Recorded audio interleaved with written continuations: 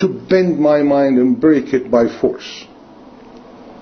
There is no mathematical definite proof. There is no physical or logical definite proof such that any reasonable and literate person who's gotten a degree, who passes an IQ test above 50%, whereby all those would agree unanimously that there is a God. Our Creator did not choose that for this race just because of what have just been mentioned.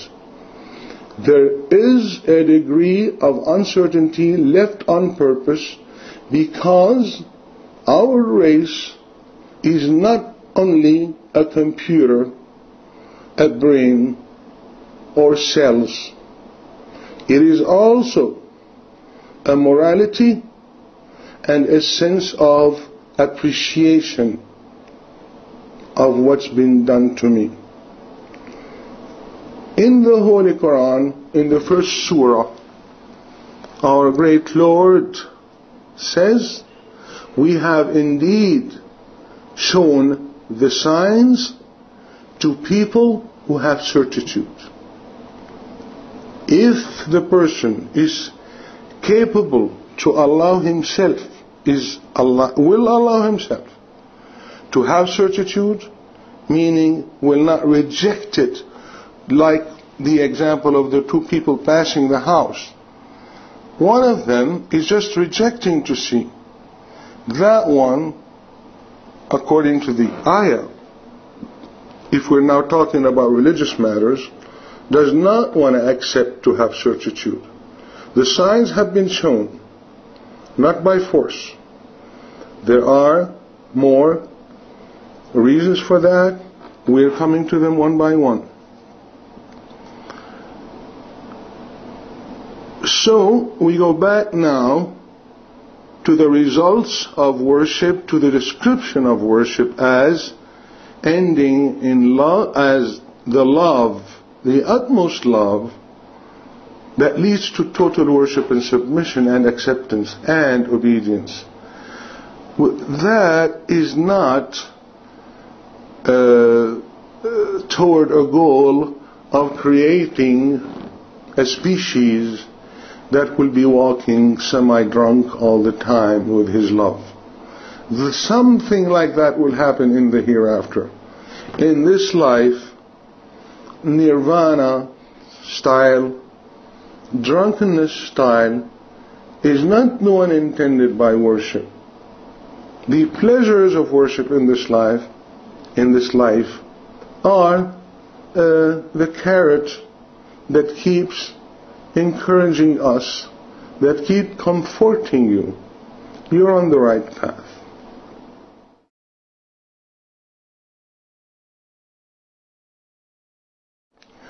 As such, from this creation and from this sense of worship, there ensues responsibility for the person who admitted the love, who have felt the love and reached from this love to this worship, the natural result is responsibility toward the goal. We've touched on the goal already now. Appreciation of a lot of stuff from this Creator. This will be mentioned here and there in the whole series. We're starting to touch on it. So, I have a responsibility toward myself. Now, once I have perceived the possibility of the existence of a creator and refused to run away from considering it because I don't want to be ungrateful if that was the case. I'll give it another thought. I'll look at it more. What have I got to win? What have I got to lose? Uh, personally, on the personal level, and on the moral level. What have I got to lose and win? There will also be responsibility to others, such that my actions and my life does not hurt them. Everybody accepts these uh, principles and does not hurt their strive toward the end that I have, nor the goals that they set themselves in life, even if they don't believe in my Creator, as long as we don't conflict.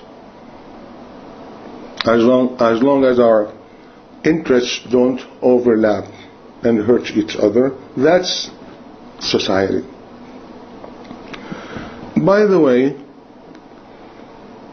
some of the uh, um, some of the objections, I would say simple, simplified objections against religions that include acts of worship and do not want to accept what they know that normally things of value that have taken some effort are usually the most the more appreciated in life. Muslims who follow rules do not feel a burden. It's weird that the burden of acts of worship especially in Islam, is felt by its critics, not by Muslims. My, this is nice and weird. Muslims enjoy what people who don't do the actions call them as burdens. Now, we're talking about an issue mostly by Christian uh, preachers who want to increase their flock Look, why do those things? It's not by your actions that you are going to enter paradise. I hope they'll stick to that. By the way, as we'll see very soon now, it is not by our actions that we wish to enter, that we hope to enter paradise. Anybody who claims that concerning Islam, I won't be I won't use foul language against him. I'll just say he is not telling the truth. And probably he knows it. The anybody who has some um, some professional conscience, professional ethics, has some PhD in theology and philosophy, he needs to talk about Islam needs to read what Muslims say on this issue. If he did not, uh, this is not a person I would want to follow. Uh, we'll see soon. So it is weird that the cores of acts of worship are felt by people who don't do them. And people who do them enjoy them by the way, as we will see through the whole series, Muslims not only feel the pleasure of these acts of worship, the spiritual pleasure, the family positive results, the social positive results, the human positive results, even with people from other religions, even with the enemy, the Quran says, push away with the better deeds. You will find that the person who was your enemy becomes your best friend. That's the approximate meaning.